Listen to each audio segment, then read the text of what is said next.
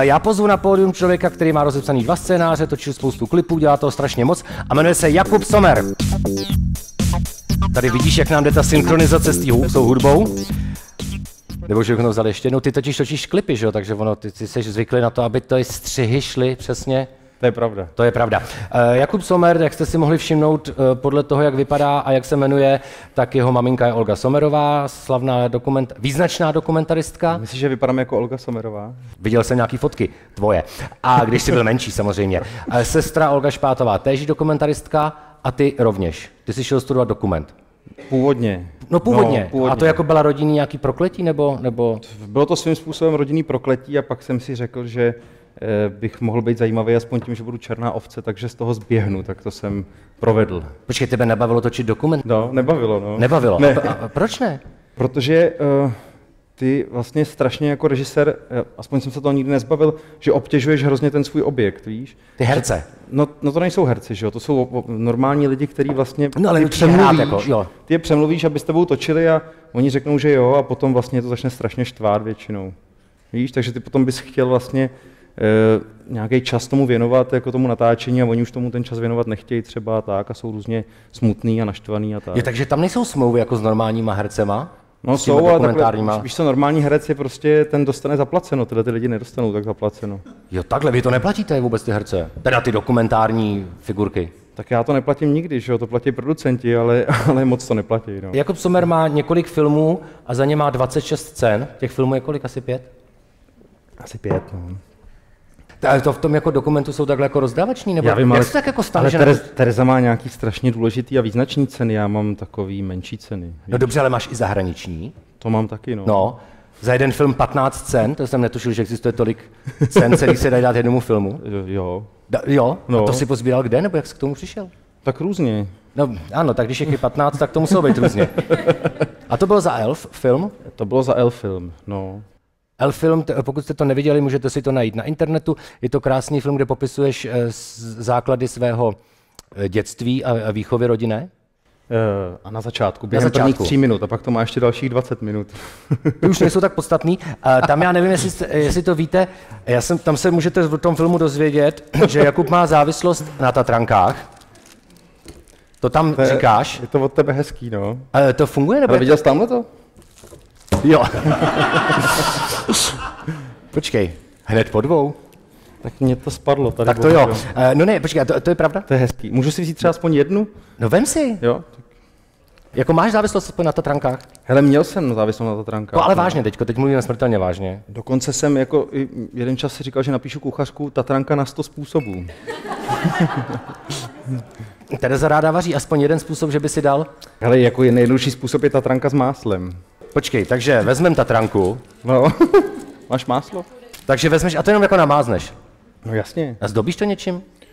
Pažitka nebo ty... Jako můžeš, no, ale proč bys to dělal, že jo? No, jako, to není chu, chutoprostí. Tak jako tohle to je, to je tak jako ujetá záležitost, že to konzumuješ tajně, že jo, si sám pro sebe, tak tam jako není ten, jako ten prezentační problém, že bys to potřeboval nazdobit, rozumíš? Prostě namažeš to máslem a sežereš to. Tak ale jíš, jíš. Ti dám antibakteriální gel, když na to takhle šel. Jo, děkuji, děkuji.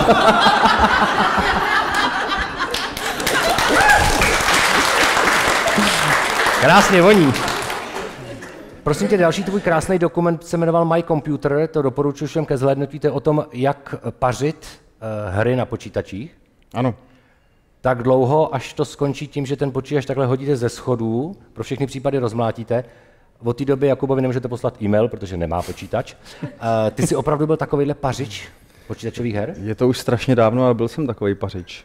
No pak jsem ten počítač musel opravdu se ho zbavit. Jako opravdu si ho vzal a řekl si... Stejně jako měl jsem počítačový detox, stejně jako tatrankový detox. Já jsem na ty závislosti, víš, hodně. Jo, takže Tatranek jsme se zbavili a počítač, ale to ti možná může chybět trošku, ne dneska? Když točíš, filmuješ, stříháš na počítači. Já znám spoustu lidí, co mají počítač, takže jsem v pohodě. Takže ty si přijdeš, pro mě, abych se, ale můžu jenom na chvíli, abych se nestal závislý. No, nebo posílají za mě e-maily a tak. Eh, kromě tohoto krásného dokumentu, hraného My Computer, který taky získal X, X A hraného? To není hraný dokument, to je pravda. Ty magoři v tom ty byli reální? No jasně. Tam je Igor Chaun, třeba všichni od rána do večera sedí, a tam máte ještě k tomu hodiny, tak sledujete 11 večer, jedna hodina ráno, 4 hodiny ráno, oni tam takhle sedí a hrajou. Mám tě, střílim. To je pravda Ze zálohy všechno. ne. Všechno to je pravda. Tak každopádně to mělo podtitul Hraný. No ale tak to, to tam nějak vzniklo, takže to tam někdo takhle řekl a není to pravda, že to bylo. Ne, takže to skutečně byly takhle No, krásný. no, no, no. Od té doby je pravda, že Chaun nenatočil film. A pak tam ještě byl nějaký muzikant, že jo, který hrál ve Filharmonii, tak už myslím nehraje, ne? No tam měl tu historku, že ten pařil tak na tom joysticku, že potom šel na zkoušku s tou filharmonií a necítil malíček, tak nemohl hrát. Já začínám chápat, proč si potom přešel k těm hraným věcem.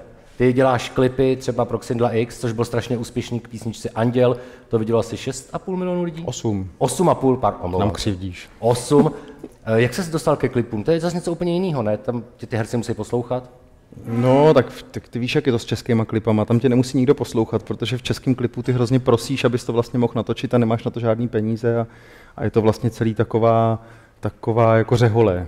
Víš? To je důvod, proč jsi šel točit reklamu. To je takový svobodný, kreativní umění, že jo? Hele, není to svobodný a kreativní, ale zase je tam spousta peněz na tu výrobu, spousta peněz po té výrobě a tak to je hezký, že jo? Takže pak můžeš toho platit ty klipy těm kamarádům. No to ne. To ne. Zase odsaď, To, si tou koupit, kdybych ještě byl závislý, bych si mohl koupit mraky Tatranek, ale naštěstí Už to nepotřebuješ. Nepotřebuju. No, No. no, tak za ten klip si byl třeba nominovaný na Anděla, že jo? Takže to se vyplatí jako... no, nedostali jsme to. Ty jsi to měl udělat líp, no co ti na to mám říct? Eh, My jsme předtím řešili seriály, ty jsi eh, se hrdě přiznal k tomu, že jsi natočil mm, pod pseudonymem Petr Fischer 15 dílů comebacku. Je to tak?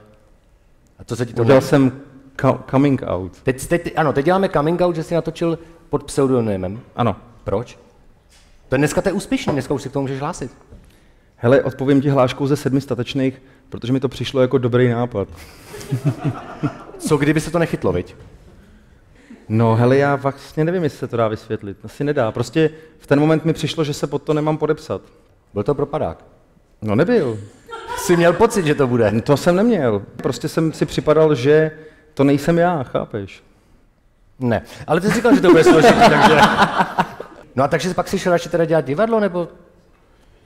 Protože ty si udělal režii divadelního představení, Dioptrie růžových brýlí, kdo z vás někdy byl na, ve Švandově divadle, tam se to hrálo.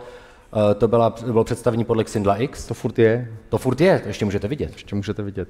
No. Oni to ještě nestáhli, jo. Čtvrtou sezónu. Už? No.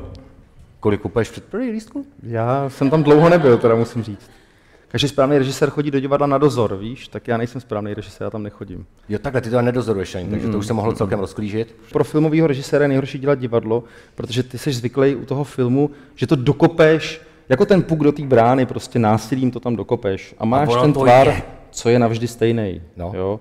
A u toho divadla oni to po každý hrajou jinak. To je strašný. A kazej to různě, že jo? strašný. Když na první reprízu, potom na 15, to je úplně jiný představení. Úplně jiný. Hm? No, Pozveš si kámoši a oni hrajou něco úplně jiného. no. Ty jim říkáš, to bude dobrý, to jsem Pozveš, režíroval. pozveš nějaký holky a řekneš, hele, dělal jsem divadlo přič. A pak zdrháš pryč, Pak rozumíš? říkáš, to jsem nebyl, já to dělal ten Petr Fischer, co dělal kapek. Hrozný blbec. Přesně tak. No, Mimochodem, o čem to je? Dioptrie. Protože je to taková zábavná, zábavná hříčka o milostném trouhelníku. No, pokračuj. Já jsem zjistil, že v milostném trouhelníku je strašně moc lidí, určitě spousta lidí tady taky je v milostném trouhelníku. A že vlastně ty lidi, když chodí na to, na ty kousky do toho divadla nebo do kina, tak je vždycky nejvíc zajímá to, co sami prožívají, chápeš?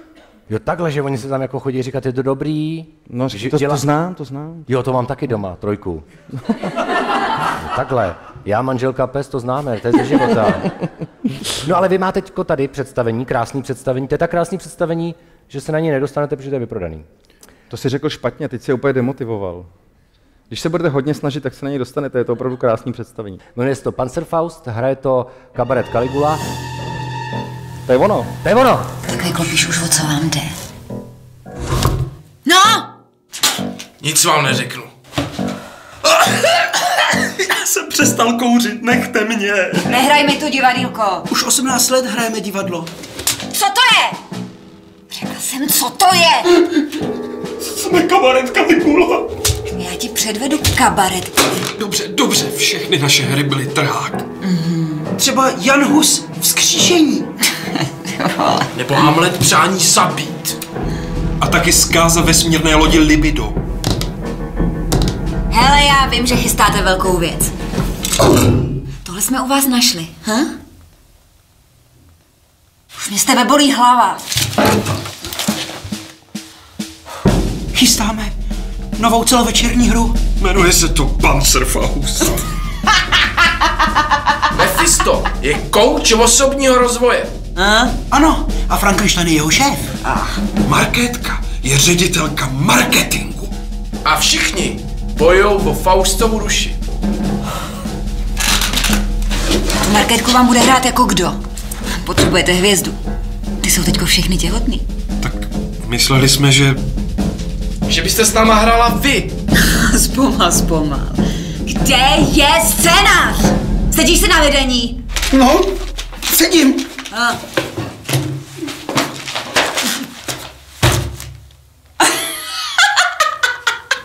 jo, tak v tomhle bych hrála i zadarmo.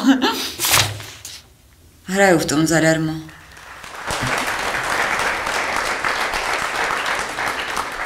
Já vlastně dělám žebravá videa. Žebravá videa. Takhle se dneska schánějí prachy, musíte tady to natočit, pak to dát na HitHit, což je takový server, kde můžete požádat lidi, lidi o peníze. Oni vám je v tomhle případě dají, ve většině případů třeba taky ne, že jo?